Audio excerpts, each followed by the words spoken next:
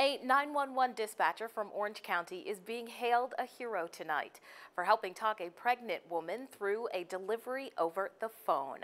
Orange County officials say Gerard Lewis answered an emergency call from a couple driving to the hospital, but the baby just couldn't wait. So dispatcher Lewis instructed the couple to safely pull over on the highway and walk them through the delivery. The umbilical cord was wrapped around the baby's neck, which Lewis helped them remedy as well. Once the baby was breathing and EMS was on the scene, Lewis could finally breathe a sigh of relief. Orange County officials say they are proud to have dispatcher Lewis as a part of their team, and I know that family's happy as well.